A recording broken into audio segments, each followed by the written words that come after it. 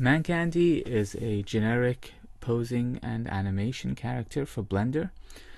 Uh, created him slightly before Project Orange started and modified him a few times since then.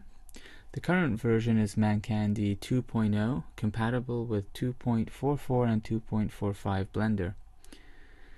There's a lot of control objects hanging around in his library file.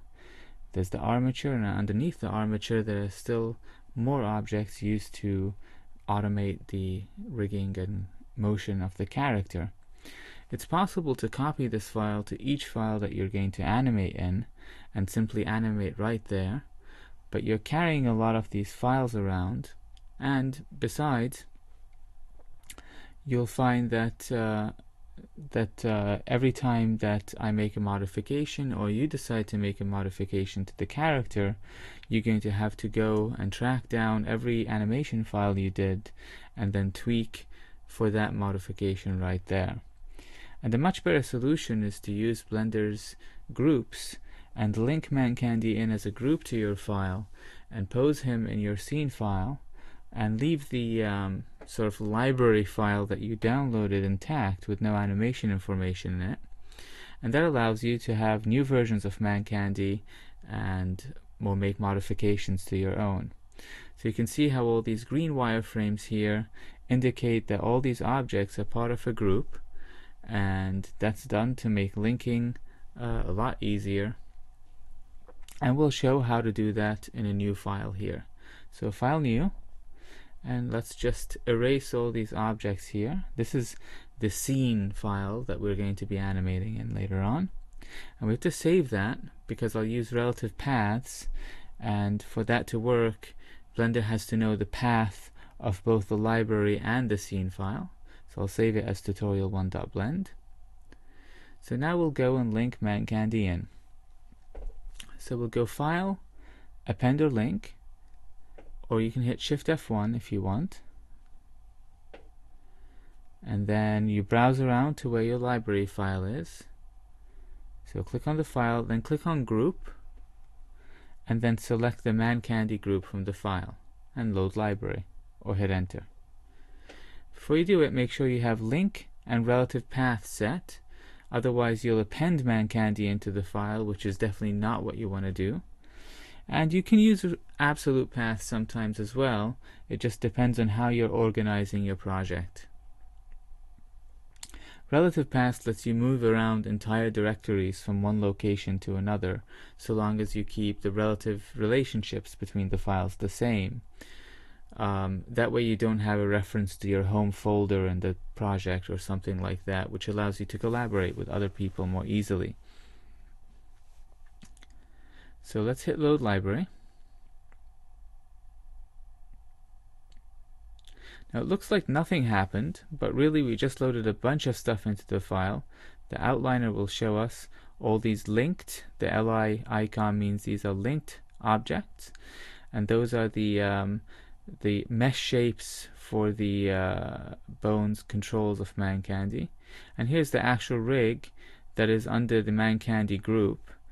And you can see the library path here, which can be edited by control clicking it. So you can change Mancandy to Mancandy 2.1 if you get a new version, or change the relative location of the library file if it happens to change. So now we have to add a new group which can be done with Shift A or space or just from the add menu and there's a new Mancandy added to the scene. So basically what you have here is an empty that's a group duplicator for the Mancandy group. You can't actually edit the mesh or pose it, but you can move it or rotate it or scale it even, but that's not really going to help you doing character animation tasks. So we'll first clear rotation and location to make sure that he has no default transformation on him. And then we'll add a proxy.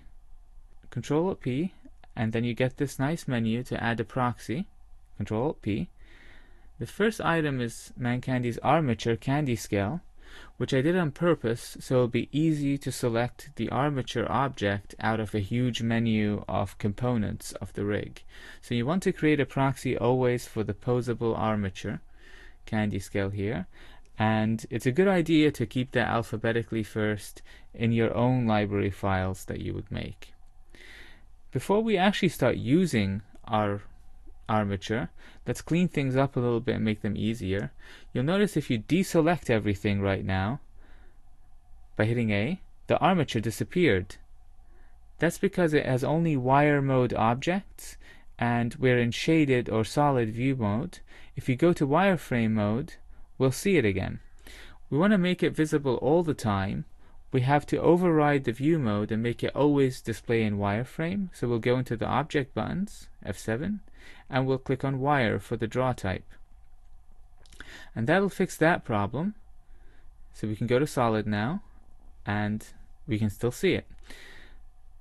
Now we can click here and make it X-ray or if we're in the object buttons we can click in the armature panel and that'll make the armature show through the mesh so it makes it easier for the animator to select bones even if they're inside the mesh. And we'll turn off these ugly dotted lines here, these relationship lines, which are useful for riggers, but not terribly useful for animators who don't really care about parent relationships, they just want to move things around. And that makes our file more posable. We'll parent the object to the armature object by selecting man candy, then the armature, then hitting Control P. And that'll make things a little bit more neat. Now once you do that, go into pose mode on the armature and you can start posing things around.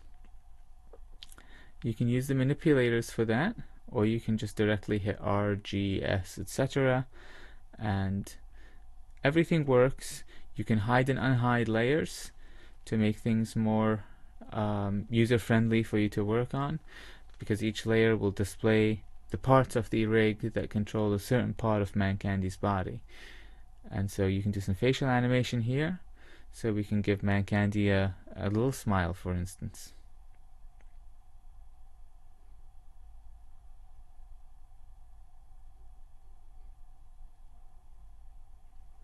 It's all just transforming different parts of Mancandy's armature. Lots of G for grab, S for scale, so.